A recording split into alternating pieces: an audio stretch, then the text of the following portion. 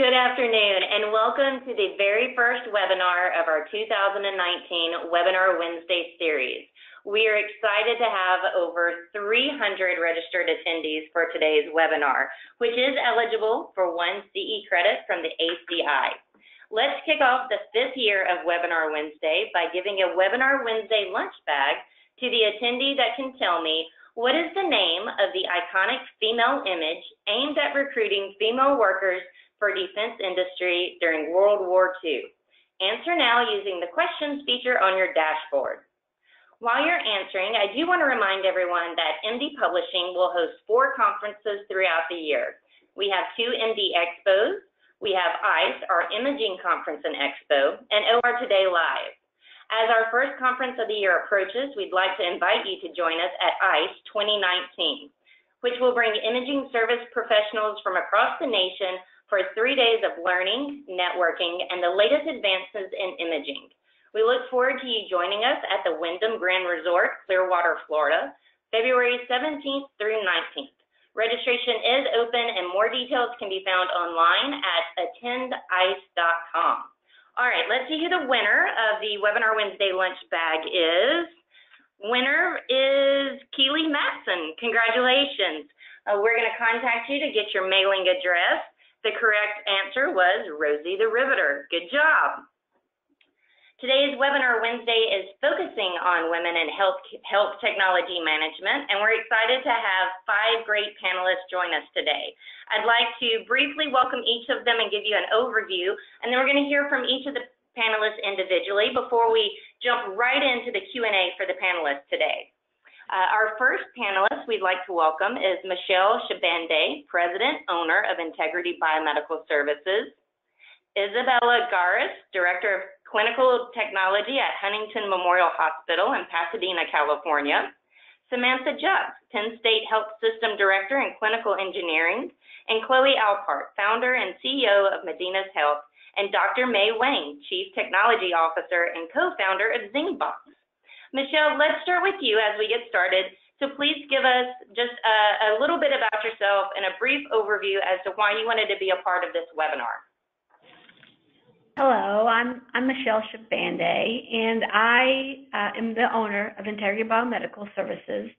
And uh, I want to be a part of this because I think when we are just being kind of recognized lately of women in the HTM, and it's just a fascinating that I have been a part of it for 38 years. Um, I uh, left a company after working for 30 years uh, in 2010 to open up Integrity, and it has been an awesome, eye-opening time for me. And as I look back at what where I was and where I am now, and what has changed, and how we can move forward. I think women have a lot to do with it, and I'm I'm really grateful that I was uh, asked to participate with this. I think we can learn and share from one another, and and, and grow. So um, uh, once again, thank you for asking me to join. Michelle, thank you very much for your time today. Our next panelist is Isabella. Isabella, if you can, give us a brief introduction. Hello, everybody. Um, thank you, Jamie, and I appreciate uh, the initial introduction. And um, as Michelle has indicated, um, I think our world in healthcare technology management has evolved so much, especially in the recent years, and women have and continue to play a very important role with a lot of new opportunities that have been uh, created for for us. Uh, so um, I'm very privileged to be part of this very distinguished panel and certainly look forward to hearing from uh, my peers um, on their viewpoints related to women in healthcare uh, technology management. Um, I have been fortunate to be part of a few other panels and presentations um, in the past, including uh, at MD Expo and AAMI and some of the other conferences. Um, so this is wonderful to see again that over the last few years, um, this topic has been highlighted, and um, I hope that we will be able to continue this momentum uh, beyond today's presentation. Um, as you can see on the screen, uh, a little bit about myself. I have been in the field for close to 20 years now, uh, ranging from a clinical engineer to management positions. I have been fortunate uh, to work in several different places uh, across the United States. Um, and uh, have also been uh, very much and continue to be very much involved in a lot of different professional organizations, including the ACC, AAMI, uh, HIMSS, um, and uh, of course a lot of other uh, local and state organizations. Um, again, uh, thank you for the opportunity to present today and look forward to spending another hour or so with all of you. Absolutely, Isabella. We appreciate your time as well. Samantha, the floor is yours. Good afternoon. My name is Dr. Samantha Jacques. I'm currently the Penn State Health uh, System Director of Clinical Engineering for our entire uh, system of hospitals in central Pennsylvania. Um, just like Isabella, right, I've been in the field quite a while and uh, worked all over the country. Um, previously at Texas Children's, but now with Penn State for quite a while. Um, right, and and like most of the distinguished women on this panel, right, we've been um, working a lot outside of our given fields related to um, advocacy and things we can do to kind of move the, the needle forward when it comes to women in HTM. So um, thanks again for the opportunity, and I look forward to it. You're very welcome, Samantha. Thank you so much for joining us today. Our next panelist is Chloe. Chloe, if you could give us a brief introduction of yourself. Hi, everyone. My name is Chloe Alpert. Um, I'm a entrepreneur who has worked in supply chain uh, for the last kind of five to six years. Um, I've been developing software products for over 10 years. Um, and Samantha, I'm actually from State College, Pennsylvania, so go Penn State. Um, and uh, really, my background um, is looking at how I can use technology and software systems to improve um, supply chain logistics and empower people. And I've always been so inspired by materials management, clinical engineering, and just HTM in healthcare, and the fact that you know there's tons of existential shifts in the market right now and there's a huge opportunity to empower women and the people who work in these sort of, you know, unsung hero positions using technology. Um, and so that's really my motivation and uh, have been working on Medinas Health here for about um, not quite two years and um, very stoked to be here. Very awesome to connect with other women who believe in entrepreneurship and how women can really make a huge difference in healthcare. Chloe, thank you so much. We appreciate you being a part of the panel as well. And rounding our panel out today is Dr. May Wang. May, if you could, it's your turn to introduce yourself to our attendees today. Sure, thank you. My name is May. I'm a CTO and co-founder of a company called Zingbox. And Zingbox provides security and operational insights for connected medical devices. So lots of clinical engineers are using our product. We use machine learning, we use cloud, etc. And I'm one thing particular I'm super proud about Zingbox, and that's also why I'm here at uh, this panel is ever since day one, since four years ago, I started the company together with my two male partners. Came we came out Stanford research. Until today, we have always been keeping one third of our uh, work, work staff as women. And now today we're we're based in Silicon Valley. We have more than 60 people, and one third of them are women. So, and I myself have learned lots of lessons, uh, made lots of mistakes, and I'm very happy to share my experience and uh, help next generation young women in technology and healthcare.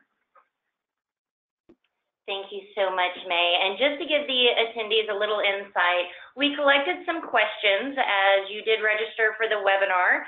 Uh, so we're going to start our Q&A process with the questions that were submitted from attendees during the registration process.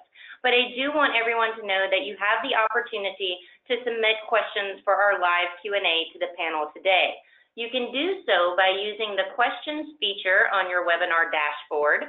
You're welcome to submit a question and we will pose it to the panel, or you could identify a specific panelist that you would like to address your question. With that said, I'm going to jump right into the questions that we have ready. And May, if it's okay, I'm going to get started with you. The first question is, what advice do you have in regards to career advancement? Sure, very happy to address that because we work a lot with biomed engineers, clinical engineers, we actually do see a huge trend coming up. So one, if I have to give one piece of advice specific to this group of uh, great clinical engineers and uh, managers, I would say to identify the new wave and get onto the new wave to grab new opportunities. One thing we started seeing is right now we're at a tipping point of in terms of clinical engineering. Maybe many years ago, clinical engineering is mainly about, you know, a lot about these medical devices, you know, a lot about their mechanical characteristics and the properties, you know, how to maintain them, how to operate them, etc. But nowadays, we started seeing this new trend because a lot of these medical devices are connected onto the internet. Even though we don't really expect biomed engineers become experts in IT and security, but we do see among many hospitals, if the bioengineers can work together well with IT and security people, that brings lots of value to the table. Some of the pioneering hospitals are even merging the two groups together because we see lots of new characteristics and challenges that are brought by the connectivity of all these medical devices. So that's one piece of career advice I would like to give specifically to this group of great biomed engineers. That is, there's new great opportunity coming up on the horizon. And if you, you can gra grab that and can go a long way. I love that. That is truly great advice for career advancement within the HTM field. Uh, Samantha, I would love to hear any anything that you'd like to add for this question. Sure. So, so my advice is probably a little more general, um, but I would say, right, for for advancement, um, my mantra throughout my career has really been right to focus on the results and the work ethic of the work in front of you. It's really not about the amount of time that you put into work. A lot of people think, you know, if I work more, then I'm going to go ahead and get the opportunity for advancement. That's not necessarily true, especially in this field. Um, I find that if you really um, provide value and focus on the results and your work ethic, that really allows you the opportunity to shine. Um, and my second piece of advice really focuses on something that the field doesn't do well um, and is drastically needed. I think those of you that can focus on growing skills in the areas of conflict management and conflict resolution, um, you know, there's a lot of things going on in our field today, and the ability to kind of navigate between different camps who have different um, uh, goals or interpretations of what they want to get out of something, that skill is, is a limitless skill that will truly help you pr propel your career forward. I love that. I, I, I agree with you. It's not always the hours that you put in, but the work that you put into the hours. And I think this first question is going to tie into the second question that we'd like to pull up. And Michelle, I, I'd like for you to address this one first.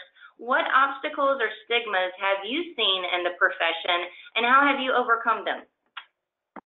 Well, I really believe one of the big obstacles for me personally is that I was a woman going into business in kind of a standard of a man's world. Uh, business wise, I'm I'm the one that runs the business.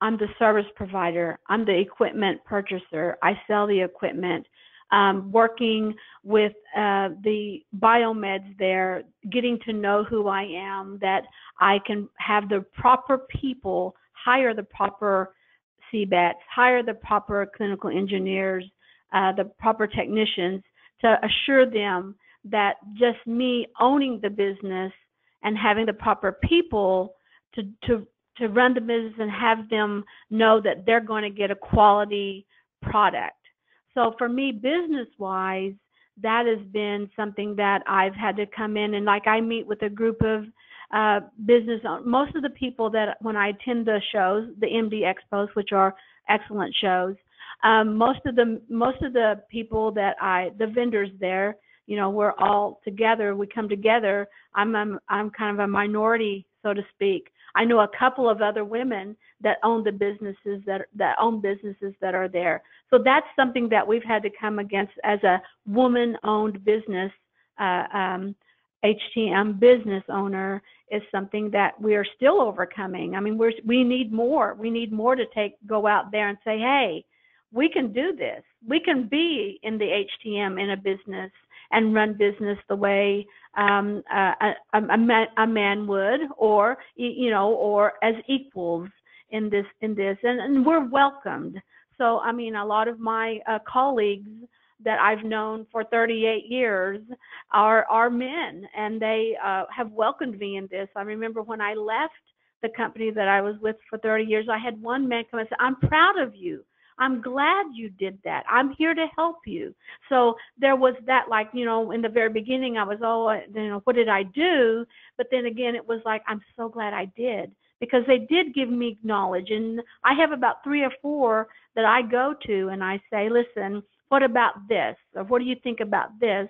And so I've learned from them too how to be successful in this business.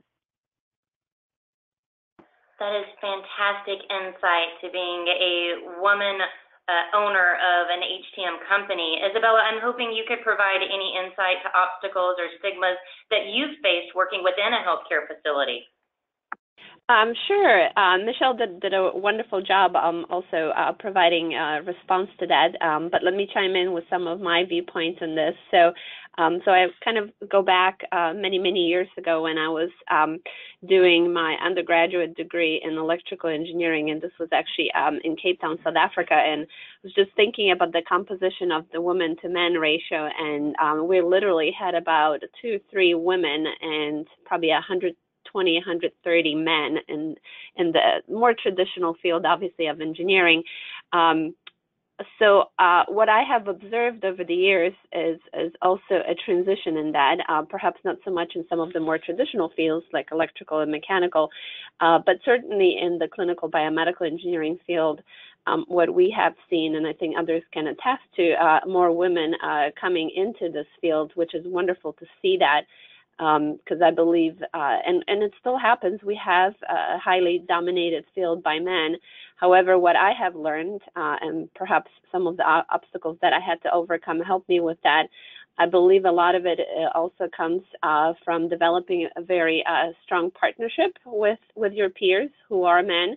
Um, I have many mentors uh, in the field um, and have had them for a long time uh, who are men and have provided me with um, great insights and great resources that helped me shape the career where I am today. Uh, not not uh, not only within everything that I do here uh, within the hospital, but also a lot of the extracurricular activities um, through professional organizations or conferences, or even things such as the webinars that we're doing today. Uh, so I think um, a lot of it is also uh, being able to um, establish a certain level of, of confidence uh, as an individual, as a woman, um, which, as Michelle indicated, uh, sometimes it's it's not easy in the in the male-dominated world. However, if you can do that and show the strength and the confidence, um, I think it will certainly help you a long way to be able to uh, establish yourself in the field. And also, most importantly, what I believe in is establish uh, a circle of resources and partnership with others, which can certainly be other women, but um, most certainly a lot of other men, since we have a men dominated field. Uh, that will uh, continue to support us because um, I have that support system and I continue to enjoy that and reach out to that on many different occasions. So I think one of the main things to help overcome some of the obstacles, especially if you feel that um, that you are uh, faced with some within your professional career, uh, is not to be afraid. Uh, build build a confidence level and a support system that will certainly help you over time, um, if there are any, overcome those obstacles and be a successful uh, female in the field. Thank you. And Isabella, I'm going to stay with you for the next question. What do you think that leaders and women in the industry could do differently to bridge the opportunity gap? Great. So, um, so I think as I as I mentioned in my first question, that kind of helped with um, with overcoming some of the obstacles. One of the main things, and and speaking from experience, that has uh, certainly worked for me um, and I would like to encourage, especially young women, getting involved in that as soon as they can, even during their uh, college time, is to get involved in a lot of the extracurricular activities. Um, like I said, professional organizations, whether it's on a, a national level, state level, local level. Um, I've mentioned some of the key organizations, especially those that have regular meetings, the ACC, AAMI, HIMSS, and of course a lot of your uh, local professional organizations. Um, not to be afraid uh, to actually start even volunteering for some of these organizations. Um, uh, whether it's a, you know it's a position on a committee or a task force or just helping out uh, during the organization of an annual conference, um, there is definitely plenty of opportunities, and many of these organizations are always looking for volunteers to help out. Uh, to me, that was one of the the biggest and the most important breakthroughs in my career, especially at the very beginning, to be able to be exposed to other professionals in the field, again, including women and men, um, that over time will help you build that support system and will help you become, um, uh, you know, a stronger and a better leader in, in the field. I think um, other things that um, we should be looking uh, forward to, to do, especially within um, your own individual professional environment, is to look at what options uh, you have for any type of training or uh, other type of leadership courses that will also help you not just necessarily as a woman in the field, but as a leader in the field, uh, establish yourself, uh, build stronger, again, support system, tap into resources and be able to learn new techniques uh, to improve on your leadership skills. That is fantastic advice, and I, I, certainly appreciate you sharing it with us. And listening to the panel so far, there are a couple of things that have come up that, uh, Michelle, something you said about your male counterparts that were your advocates, that were some of your biggest cheerleaders when you made that decision to step out on your own and start your company, leads us to our next question what are some of the ways you have benefited from or worked with male advocates in advancing your career? We heard from Michelle earlier, so May, I'd love if you could address this question for us. Sure. As uh, as a uh, couple ladies have panelists have already mentioned, in lots of places we are working at, male colleagues are still dominating the field, especially in high tech. And my two co-founders are male, and uh, most people we talk to, partners and investors, are all male partners and uh, colleagues. So I do find their support is extremely important. And even though sometimes men and women think differently, but as far as we have the right attitude and are willing to sit down to communicate our different opinions, our different views, I found most male colleagues are very willing to listen to us. And uh, if we show the equivalent appreciation support, we can e easily get appreciation and support as well. And actually, before Zingbox, I was working at a very large company called Cisco, for many years. I was working at Cisco CTO office, and for years I was the only female because it's a very technical role. So pretty much, including myself in the group, was a nerd. And for many years, I was the only female engineer in that group. And actually, every single time, in hindsight, every single time I had any kind of career advancement, it was all because another male colleague or my boss who every single boss I had was a male who was able to recognize the work I did and spoke up for me and uh, got me to the next level of the career.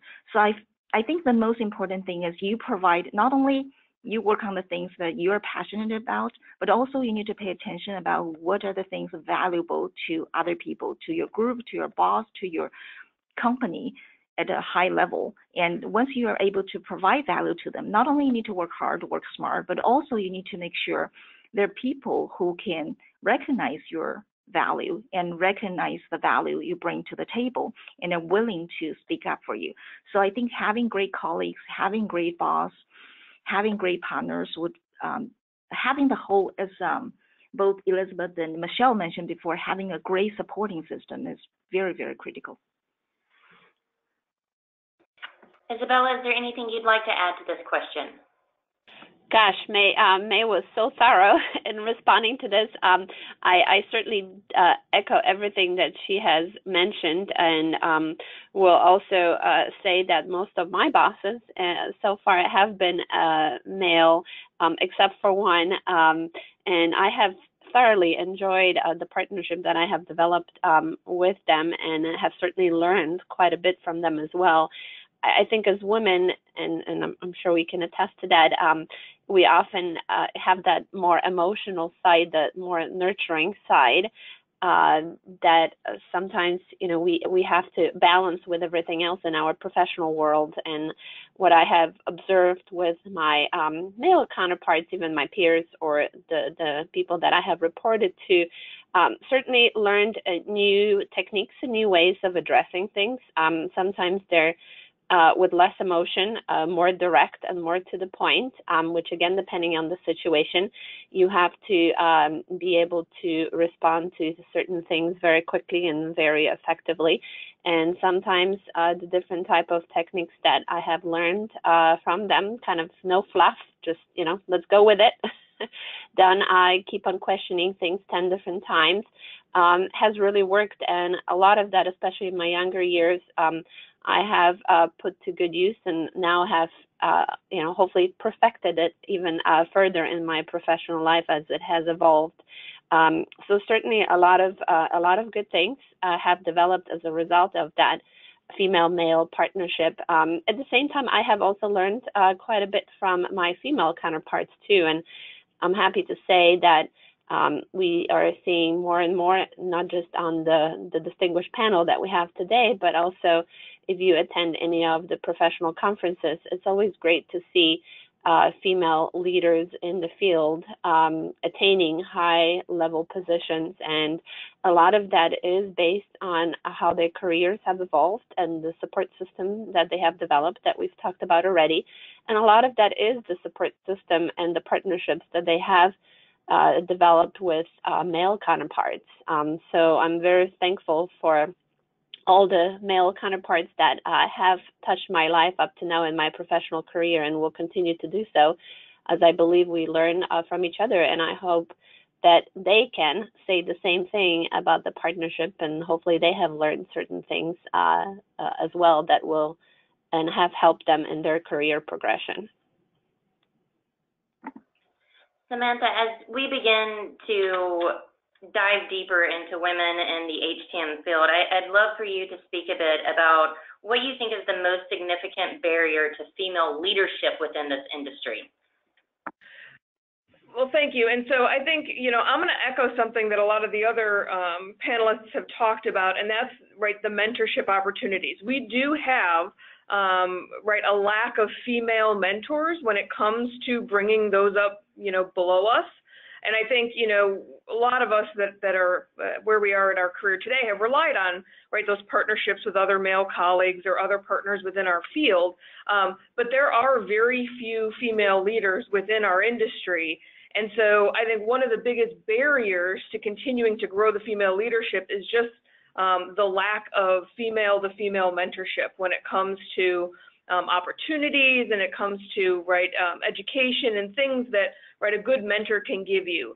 I think you know one of the things we really need to grow as a community is the ability to not only mentor right those around us right and, and our colleagues but i think we really need to to reach that mentorship down into levels right in the high school um, and college areas where we can really start to recruit more women into our field and that one-on-one mentorship is usually, right, the one reason somebody enters the field is because you found somebody, right, who really lit a fire underneath you. And so um, until we really get a lot more um, mentorship opportunities, I think, you know, it, it's going to continue to struggle to get more females in leadership roles within HTM. Samantha, I'm going to stay with you because I, I, feel like our next question is very much in line to what you were just addressing. How can women attain more leadership positions? Sure. So, so right, the first thing I put on my list when I made notes for this was you need to find a mentor, and I think a lot of our panelists have talked to it. Whether it's female or male, you really need to find a, a group of people that you can rely on to get advice um, and to learn to work your way through some of those sticky situations all of us end up dealing with on a day-to-day -day basis. Um, Second, I would say, right, you need to go forward in, in a confident and passionate manner and truly advocate for yourself as you're trying to um, move up the rungs, right, in your organization or across organizations. Nobody is a better advocate for your um, abilities and where you want to go than yourself. And if you can't stand up and be confident about the skills you have and passionate about the work that you want to do, right, people will easily pass you over for those leadership positions. Um, you know, and so sometimes, you know, all of us um, are not necessarily have that that innate ability within us to, to toot our own horns, and that's really where then we rely on our, our mentorship, our, our partnership, our uh, network of, of um, camaraderie to, to guide us in the right direction or right, maybe toot our horns a little bit for us so that we can really become visible to those in senior leadership levels and help us move up that ladder.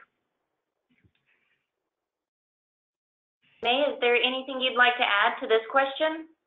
Yes, sure, absolutely. Um, thank you for all the great points uh, Samantha and Michelle mentioned. I think mentor is super, super important. If I can add something more, I do see as everybody agrees that women tend to be very caring and care about others, especially for women working in healthcare. The reason we're working here because we care about others. We want to take care of others. But I see that also can be a barrier or obstacle for lots of women moving for, uh, moving towards leadership positions because lots of really smart, hardworking women I know at certain point in their life because they have family, because they have kids. They have different priorities. They value their family, they value their kids much more. So they started pull back in their career path. So one thing I think is very important that we have a great support system and both at work and at home in the community to help us take care of families so that women can spend more time and energy at um, uh, at work.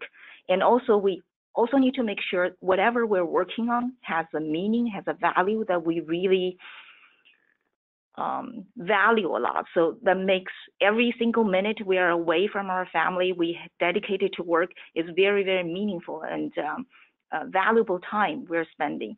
A third point I want to say is uh, going back to at the very beginning I mentioned, I think I feel it's relatively um, you can say relatively easier to get to leadership position if it is a booming area, it is a new area, or it is a cross section. The not many existing players are in this field, then it's easier if you take initiative, you take the leadership. It's easier for you to um, become leader to lead a new area. I agree. And May, I'm going to stay with you for this next question because I think you're going to provide some valuable insight. How have you personally built confidence or resiliency over the course of your career? Oh, that's a great, great question. Again, before Zingbox, I was working at Cisco with, I think they have a, about 100,000 people, which is a huge organization. I know many healthcare systems are even bigger than that. And uh, for many years, I was I was this pure nerd. You know, I got I got my PhD in electrical engineering from Stanford. I, I I felt I knew really well how to talk to computers, but never to human beings. And uh, there was one mm-hmm. time that my boss had to give a presentation to a group of very important large customers.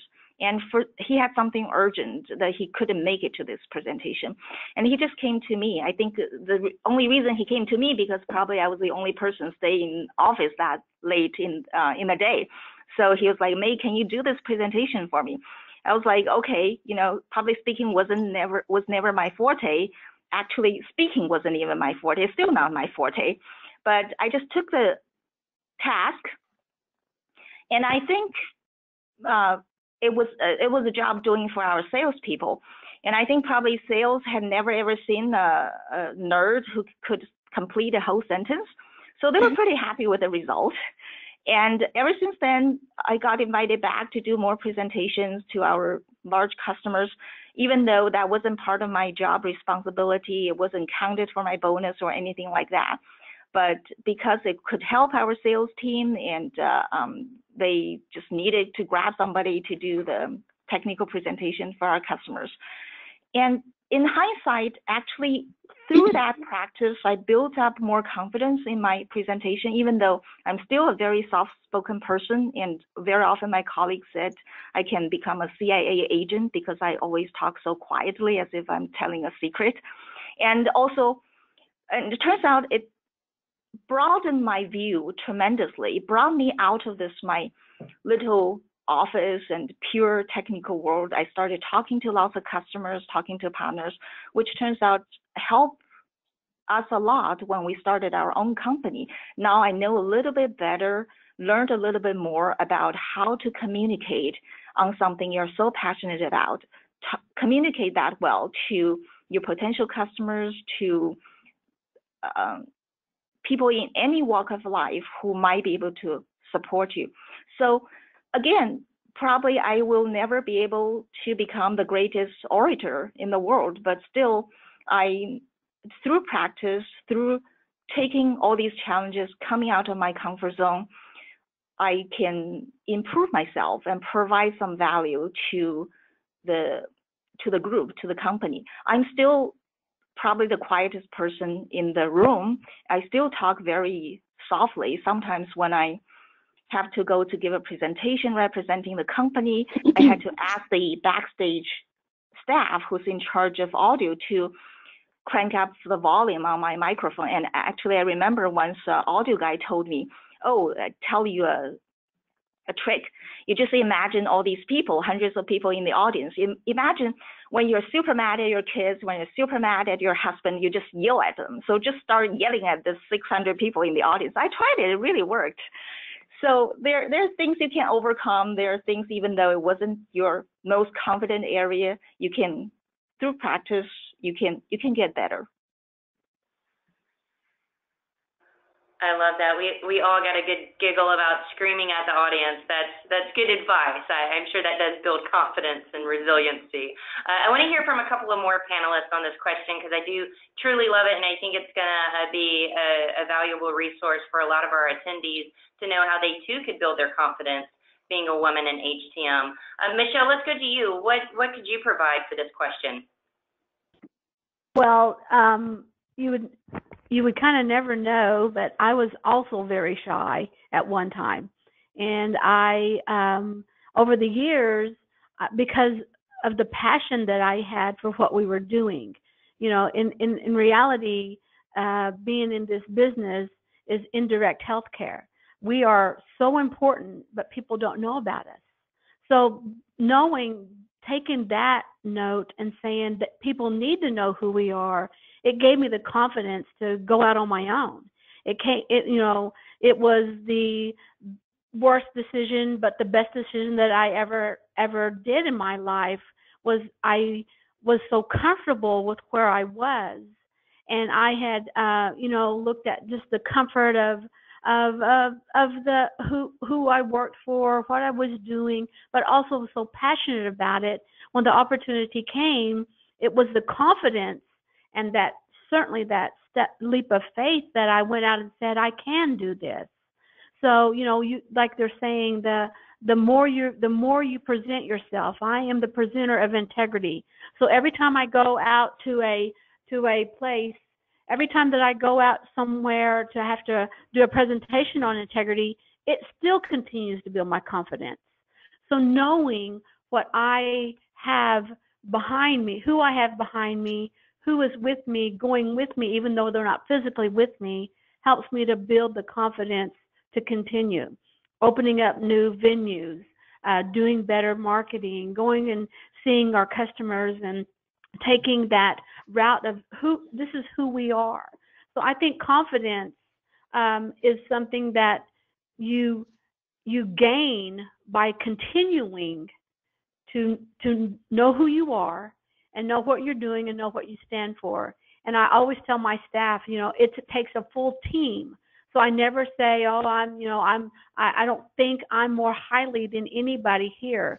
We're all on the same page because we can't work this this business without one of us we all have to be together as a team. So knowing that my team's here taking care of the business while I'm gone or while I'm away, that builds confidence and a surety to know who integrity is. And Chloe, I'd like to bring you into the conversation. Could you share a bit about how you built confidence over the course of your career? Yeah, I think uh, you know two things when I look at this question are literally it's just confidence and resiliency. And how you achieve these things is through failure. And I know that seems somewhat counterintuitive, but everybody has this pressure to be perfect. And everybody always focuses on how they're perceived and what a lot of people are thinking of them. And you know, one of the luxuries we don't have in healthcare is failing because when we mess up, you know, people's lives are on the line. But there are other ways that you can practice failure in learning a skill, in, you know, trying to find knowledge. And whenever you try to work on a problem, that's really hard. You know, when you, you try to punch above your weight, when you read a technical publication that just seems like you can't make it through, you might fail, but you've just inched a little bit further in your competence and your confidence. And every time you work on a really hard problem, you're just building your resiliency. So, you know, your career in any sort of leadership role, starting a company, starting a new job, you have to fail a little bit. You don't learn how to ride a bike the first time you get on it. You have to practice, you have to fall, you have to scrape your knee. But the only thing that you can control is your own attitude and the only and your reaction to that situation. So kind of going, you know, echoing what May and Sam said, if you can focus on how you respond to those reactions, how you can keep your attitude positive, how you can also put yourself in the way of really challenging problems and use those failures and those successes to build your resiliency. People are going to see you as somebody who's consistent, who tries, who's honest about their successes and failures, and somebody who moves fast. One of the key things in seeing your career growth and how you can move is being fast, be willing to fail in a way that you can control, and then using that learning to grow. I love that. And Chloe, I, I want to stay with you. I, am hoping you can provide some insight for this next question. Give us some background on how you became an entrepreneur and what advice do you have for any women that are looking to follow a similar path? Well, uh, entrepreneurship for me, I think, was baked in the cake. Um, Medinas Health, um, which is a marketplace for pre owned equipment and materials management tools, is actually my third company. Um, before this, I built an API company that set a world record for largest instant win prizes that were brokered. And before that, I actually built a company that handled supply chain and logistics, importing um, minerals and colored gemstones from all over the world into the US. And um, for me, it's it's just a compulsion. I'm one of those people where I see a problem and I really need to solve it. And I think what's very interesting is people often ask me what the best piece of advice I've gotten was. And I could probably talk about 20 different really wonderful things that you could put on the wall. But then I had somebody ask me, what is the worst piece of advice you've ever gotten? And I realized that the worst thing that somebody has ever said to me is, oh, just do it tomorrow. And the key thing about entrepreneurship is just getting started. If there's a problem that you need to solve, do it today if you see an opportunity to create change, to help people, to solve a problem, to help somebody, just start and start doing it. And kind of going back to the resilience and the confidence question, entrepreneurship is a series of failures. You are doing structured failure testing. And the only way that you can make it through and be successful is to have that grit and have that resilience to keep trying to find that solution and have the ability to just start. We spent probably six months testing different supply chain op, you know operations for Medinas Health before we landed on one that our customers loved. But it took us six months of building a lot of software and a lot of failure before our customers were finally saying, yes, this is what we want. This is helping us solve our problems. We've saved money. We've saved time. You've made this easier. But up until then, every day we were getting up, we were building a solution, and we were being told no. We were being told it was wrong and it was a failure. And that's very painful because a lot of times you can internalize that. Internalize that. Now, at the same time, starting a company is very difficult because there are financial considerations. You have families, you might have children, and that's very, very hard. The one thing I will say is that I have, um, similar to May, two male co founders, and having people that have my same value system as co-founders um, and people that I've worked with before um, is something that I feel so privileged to have the opportunity to do. because those guys are like my brothers now. And having good people that you work with is the difference between success and failure. I've had a previous company fail because I hired the wrong team and I had the wrong people beside me. But in this particular company, I am surrounded by the most wonderful people. A lot of our customers have become friends, have become mentors in a way. And that's because we focused on really good people and we focused on getting started and we focused on not making the same mistakes twice and learning from those failures to find the truth. Michelle, as a successful entrepreneur, I would love for you to chime in on this question as well. Well, I agree with what Chloe had said about having the right people with you. Um, my husband was behind me 100% financially. He knew I was ready to go. He was the one that pushed me and said, you know, get out there and do it. You've been wanting to do this for years. Just let's let's do it. And uh, with his push and his prod and his, you know, his his his trust and faith in me, especially with our finances, we we uh, we uh, integrity was born. But the two people that came with me also from the other company are uh, ones that I uh, want to entrust one day um, the of running the company.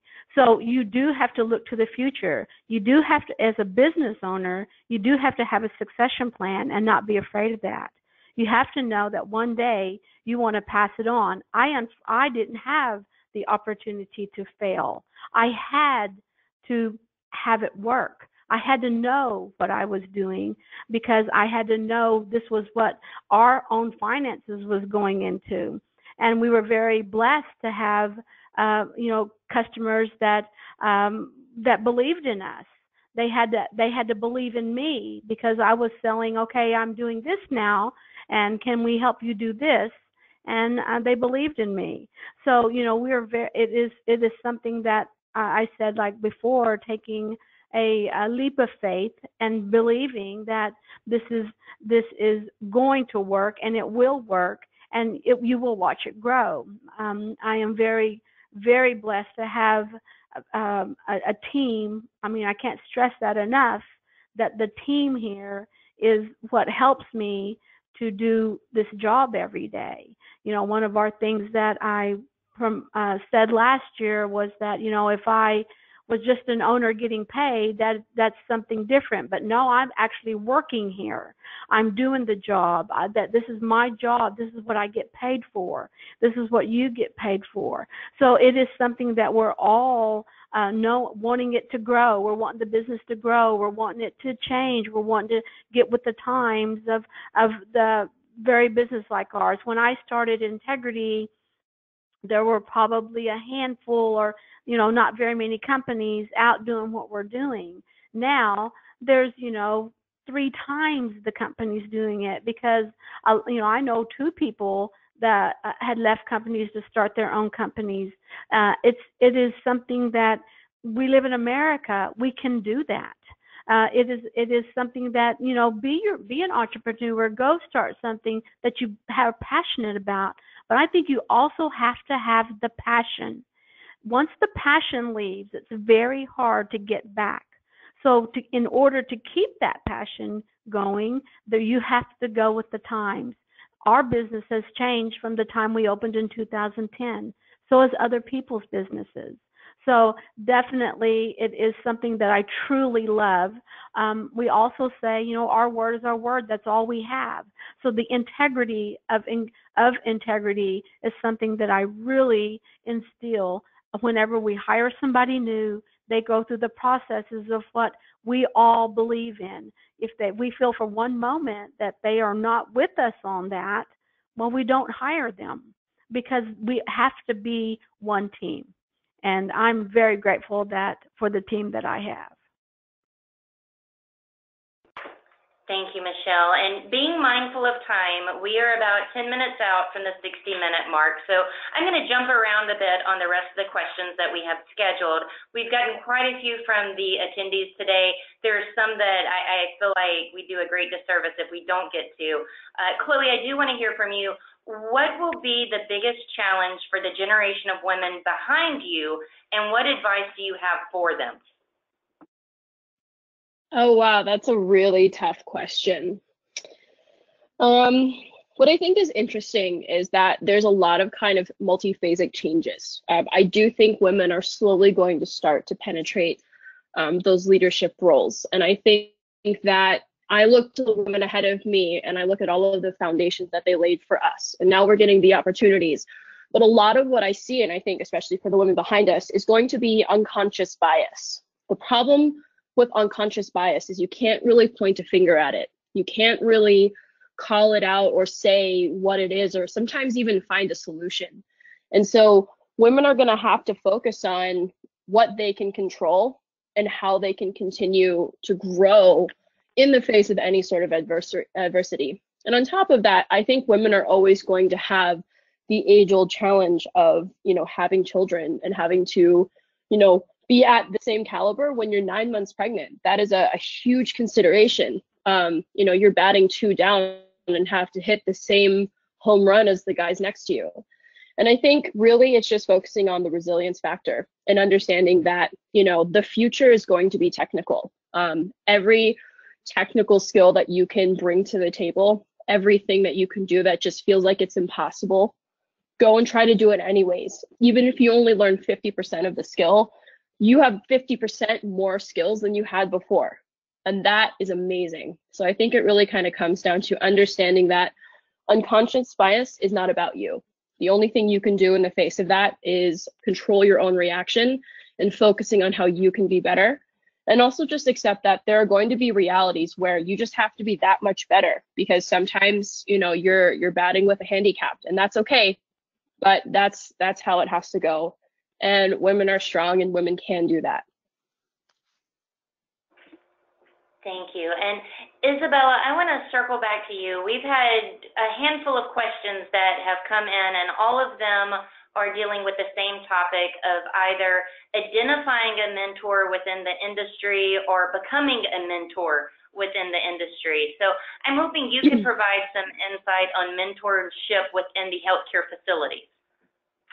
Uh, sure. Yeah, of course. So so again, the mentorship uh, program, as we have talked about, and I, as you've mentioned, it was touched by uh, many of the women on the panel, uh, can certainly be done through um, the the insights of your institution, whether you're in a hospital or some other private uh, private type or or public uh, institution. There are several programs that more, from what I'm hearing, more and more um, institutions are developing, especially as we have uh, younger, uh, new to the field clinical engineers or healthcare technology managers uh, coming into the field. For example, here at Huntington Hospital, I have recently hired um, a clinical systems engineer right after his uh, master's degree. And uh, we have kind of an uh, informal process, but it's, it's more of a mentorship um, type of a, a, program where we get the individual groomed into his position, uh, you know, have him experience the real world, uh, start participating on projects, meetings, and, and getting him more acclimated to the real life environment that he will have to see as part of what uh, what we do here at, at the hospital. Um, however, there are also a lot of different programs uh, outside of your own institution. And I know um, AAMI uh, currently, and I'm sure other organizations as well, especially on a local or state level, so you don't have to tap into something uh, nationally, offer these type of mentorship programs where they actually um, have you uh, have you submit your name as one that is interested to receive a mentor and mentor is matched with you know your particular interest, uh, professional interest, personal interest, and so on to be better suited uh, to stay with you and provide you with uh, whatever personal uh, professional growth that is required to get you through a certain stage within your career, and that could be for a few weeks or a few months or how, however long that is. And the good thing about that is a lot of that can certainly be done online or on the phone or through other uh, through other means. It doesn't necessarily have to be in person, as as again some of these mentors are assigned to individuals that are not necessarily you know in close proximity to uh, to the individual that they're mentoring. So uh, certainly a lot of opportunities, and, and I'm sure I speak for others as well. Uh, that were, you know, within our industry, we're always available to uh, provide the insights. And, and myself, I can personally say that if there's anybody that is interested in exploring anything further or has any additional questions, uh, I'll be happy to be that resource. Um, I do here and there uh, get emails or phone calls from individuals asking about these very uh, questions about mentorship and opportunities and, you know, what can I do to get into the HTM or a clinical engineering career? What are some of the things I should be working on to further my career or become a, a better leader? Um, we do get that, and I'm, I'm sure others um, as well on the panel, uh, which is great that um, that others see us uh, in that capacity. So again, I encourage uh, everybody to continue that because um, all of us here and others in the field can certainly be a great, uh, continue to be a great resource for this. Thank you. Samantha, I want to go over to you for this next question that came in from an attendee. This attendee is new to the HTM field. What is a good way to learn the compliance and regulations and stay up to date? Oh, so there's a ton of, of available resources to go ahead and help you through that. I think some of the organizations that we've been talking about have large programs to help that. So AAMI does a lot of webinars, ACCE does a lot of webinars um, to try and help you stay abreast of some of the changes, especially in the regulatory section. Um, there's also all kinds of resources through your regulatory group. So if you're in a hospital, um, usually there's a regulatory group that has some access to um, a, a, direct Joint Commission or a direct CMS kind of link. Um, and then for those of you not aware, a lot of the regulations are different from um, state to state. And so a lot of your state governments will have a ton of webinar resources or online resources to help you navigate um, what those independent state kind of regulations are, because those vary significantly depending on where you live. Thank you. And guys, we are being mindful of our 60 minute block today, but I want to get in one more question, one last question. But I do want to tell all, all of the attendees that if you haven't heard your question read to the panel yet, what we're going to do is there's quite a few in queue. We're going to send all of these questions over to each of our panelists today, and they will follow up with you offline to provide any answers or insight into the questions and challenges that you're bringing to the table today. Um, but I'm going to round out, uh, Samantha, I will stay with you for this one. How hard is it to be valued as a woman in technology? So to be honest with you, right, in a field such as ours, right, to be valued as a woman, um, to be honest, you just need to be valued. And so I would actually completely eliminate the line between genders and really look to just provide value. Um, and I think in healthcare, it's a little bit easier because a lot of the, the customers we serve, um, the nurses, right, and, and some of the physicians tend to be a female population. And so that value doesn't necessarily look like it's different between genders. Um, as long as you're providing services, you're providing something to your customers that's that's useful to them that they value i think that's really where where we shine as as htm professionals right i think chloe's done a great job trying to figure out what what people need and provide that i think may and her team at zingbox has been doing a fabulous job trying to figure out what do we need right? They've really studied their customers and therefore have provided a service, right, that makes their customers happy. We internal to the hospital need to do the exact same thing, right? Our customers are not hospitals, our customers are nurses and physicians, but we have to figure out what makes them happy, right? And we have to act in a way that provides value to them. Does that make sense? Yes, absolutely. And I think that is the perfect point for us to wrap up today. Uh, of course, thank you to all of the ladies for this great and informative webinar. I do not think that we could have start, started the fifth year of Webinar Wednesday on a better note. So kudos to each of you. Thank you for your time and expertise. I do want to let the attendees today know that this was just a, a precursor to the next panel discussion that MD Publishing is preparing we are going to have another all-woman panel discussion at our MD Expo Houston. The dates for that are going to be April 11 through 13, Houston, Texas. Registration is now open for this expo. So if you enjoyed the webinar today, you're seeking some certification and you want to be up to date on uh, the, the parameters within HTM. MD Expo is going to provide lots of education to help you do so. You can find more information on this conference at mdexposhow.com. As a reminder, all hospital employees and healthcare facility employees, military, and students can attend the MD Expo for free if you're using a VIP pass from any of our exhibitors for the conference. Again, the website for that is mdexposhow.com. One lucky attendee will win an, an Amazon gift card for completing the post-webinar survey today. The survey is going to appear on your screen shortly. You must complete the survey to obtain the certificate of attendance, the one CE credit for the ACI. If you do not see the survey, please email us at webinar at mdpublishing.com. For more information on our 2019 webinar series, you can visit Webinar Wednesday Live. We will be right back here with you next week, in a few weeks, uh, with our next webinar for 2019. Again, the upcoming calendar is going to be on webinarwednesday.live. Thank you so much for your participation today. See you soon.